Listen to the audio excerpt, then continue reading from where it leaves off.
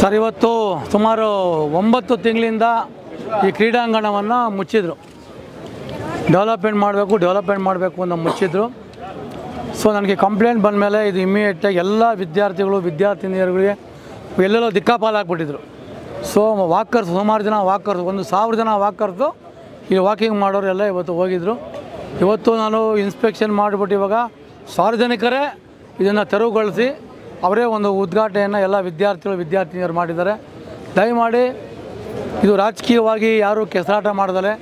ನಮ್ಮ ಉದ್ದೇಶ ಏನಿರಬೇಕು ಎಲ್ಲರಿಗೂ, ಯಾವುದೇ ಪಕ್ಷ ಆಗಲಿ ಪಬ್ಲಿಕ್ಕಿಗೆ ಒಳ್ಳೆಯದಾಗಬೇಕು ಮತ್ತು ಇಲ್ಲಿ ಯಾರ್ಯಾರು ಸ್ಟೂಡೆಂಟ್ಗಳಿದ್ದಾರೆ ಯಾರ ಕ್ರೀಡಾಪಟುಗಳಿಗೆ ಒಳ್ಳೆಯದಾಗಬೇಕು ಆ ದೃಷ್ಟಿಯಿಂದ ಇವತ್ತು ಉದ್ಘಾಟನೆಗೆ ಭಾಳಷ್ಟು ಜನ ತೊಂದರೆ ಕೊಟ್ಟರು ಆದರೂ ಕೂಡ ಇದನ್ನೆಲ್ಲ ನಾವು ಇಟ್ಕೊಂಡು ಎಲ್ಲ ವಿದ್ಯಾರ್ಥಿಗಳ ಜೊತೆ ಬಂದ್ಬಿಟ್ಟು ಇವತ್ತು ನಾವು ಈ ಕಾರ್ಯಕ್ರಮಕ್ಕೆ ನಾವು ಬಂದಿದ್ದೀವಿ ಇನ್ಸ್ಪೆಕ್ಷನ್ ಕೂಡ ಮಾಡಿದ್ದೀವಿ.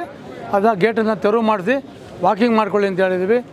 ಸರ್ಕಾರ ಯಾವಾಗ ಉದ್ಘಾಟನೆಯನ್ನು ಮಾಡ್ತಾರೋ ಅವಾಗ ಮಾಡ್ಕೊಳ್ಳಿ, ಪರವಾಗಿಲ್ಲ. ಆ ದೃಷ್ಟಿಯಿಂದ ಇವತ್ತಿಂದ ನಾವು ಕೇಳ್ಕೊಡೋದು ವಿದ್ಯಾರ್ಥಿ ವಿದ್ಯಾರ್ಥಿಗಳಿಗೆ ಬಿಡಿ, ಕ್ರೀಡಾಪಟುಗಳು ಬಿಡಿ, ಅವರೆಲ್ಲೆಲ್ಲ ಹೋಗ್ಬೇಕು ಪಾಪ. ಸುಮಾರು ಜನ ವಿದ್ಯಾರ್ಥಿಗಳು ಇವತ್ತು ದೇಶ ವಿದೇಶಕ್ಕೆ ಹೋಗ್ಬೇಕು, ಒಲಿಂಪಿಕ್ ಹೋಗ್ಬೇಕು, ಅವ್ರು ಎಲ್ಲಿ ಕಲಿಬೇಕು ಅವರು? ಅವ್ರು ನಂಬ್ಕೊಂಡಿರೋದು ಕ್ರೀಡಾಂಗಣ. ಯಾವುದಕ್ಕೆ ಒಂಬತ್ತು ತಿಂಗಳು ಬೀಗ ಹಾಕಿದ್ದೀರಾ?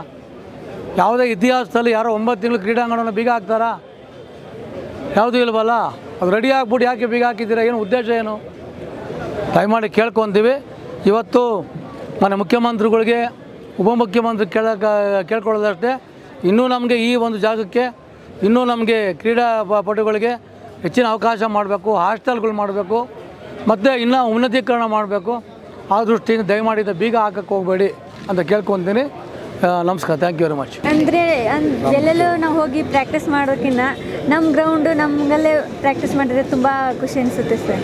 ಈಗ ಬೇರೆ ಕಡೆ ಏನೇನು ತೊಂದರೆ ಅನುಭವಿಸ್ತಾ ಇದ್ರು? ಬೇರೆ ಗ್ರೌಂಡ್ಗಳು ಹೋದಾಗ? ಅಂದರೆ ಬೇರೆ ಗ್ರೌಂಡಿಗೆ ಅಂದರೆ ತುಂಬ ದೂರ ಆಗುತ್ತೆ ಸರ್ ಟೈಮಿಂಗ್ಸ್ ಒಂದು ಇದಾಗಲ್ಲ. ಆಮೇಲೆ ನಮ್ಮ ಟ್ರ್ಯಾಕ್ ಇಲ್ಲ ಸರ್ ಅಲ್ಲಿ ಇಲ್ಲ. ಅದಕ್ಕೆ ರಾಮಮೂರ್ತಿ ಸರ್ ಓಪನ್ ಮಾಡಿ ರೀಓಪನ್ ಮಾಡಿದ್ದಕ್ಕೆ ತುಂಬ ಖುಷಿ ಅನಿಸ್ತಾ ಇದೆ ಇಲ್ಲ ಸರ್ ತುಂಬ ಖುಷಿ ಆಗ್ತಿದೆ. ಯಾಕಂದರೆ ನಾವು ಮುಂಚೆಲ್ಲೇ ಪ್ರಾಕ್ಟೀಸ್ ಮಾಡ್ತಿದ್ವಿ. ಸೊ ಸ್ಟೇಡಿಯಂ ಕ್ಲೋಸ್ ಮಾಡಿದ್ರು.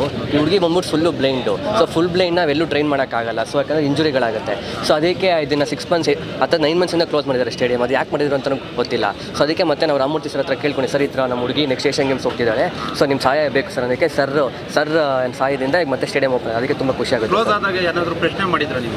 ಅದೇ ಸರ್ ಕ್ಲೋಸ್ ಆದಾಗ ನಾನು ಯಾರನ್ನೇ ಕೇಳಿದ್ರು ನಮ್ಗೆ ರೆಸ್ಪಾನ್ಸ್ ಬರ್ತಿರ್ಲಿಲ್ಲ ಸರ್. ಈಗ ಇವಾಗ ಒಂದು ಟ್ರ್ಯಾಕ್ ಆಗಿ ಮತ್ತೆ ಎಂದು ಕ್ಲೋಸ್ ಮಾಡಿದ್ರೆ ನಮ್ಗೆ ಗೊತ್ತಾಗಿಲ್ಲ ಸರ್. ಸೊ ನಮ್ಗೆ ಇಲ್ಲ ಆಗ್ತಿದೆ ಅಂದರೆ ನಾವು ಕೆಂಗೇರಿ ಹತ್ರ ಹೋಗ್ತೀವಿ ಸರ್ ಪ್ರಾಕ್ಟೀಸ್ ಮಾಡೋಕ್ಕೆ. ಸೊ ಇವಾಗ ನಾಳೆಯಿಂದ ನಮ್ಮ ಕುರಿ ಕಡೆ ಸಾರ್ಗೆ ಮನವಿ ಯಾವಾಗ ಮಾಡಿದ್ರಿ? ಒಂದು ತಿಂಗಳಿಂದ ಮಾಡಿದ್ರಿ ಸರ್. ಏನು ಹೇಳಿದ್ರು ಅದೇ ಸರ್ ಖಂಡಿತ ನಾನು ಮಾಡೇ ಮಾಡ್ಕೊಡ್ತೀನಿ. ಟೆಂತ್ ಓಪನ್ ಮಾಡ್ತೀನಿ ಟೆಂತ್ ಓಪನ್ ಮಾಡಿದ್ದಾರೆ ಸರ್. ಓಕೆ ಇವತ್ತು ಓಪನ್ ಮಾಡಿದ್ದಾರೆ. ಅದೇ ಸರ್ ಅದೇ ಸರ್ ಅದೇ ಸರ್ ಒಂದು ಸರ್ ಕೊಟ್ಟಿದ್ದು ಮಾತು ಮೇಲೆ ಸರ್ ನಿಂತ್ಕೊಂಡು ಸರ್. ನನಗೆ ತುಂಬ ಖುಷಿ ಆಗ್ತಿದೆ ಸರ್.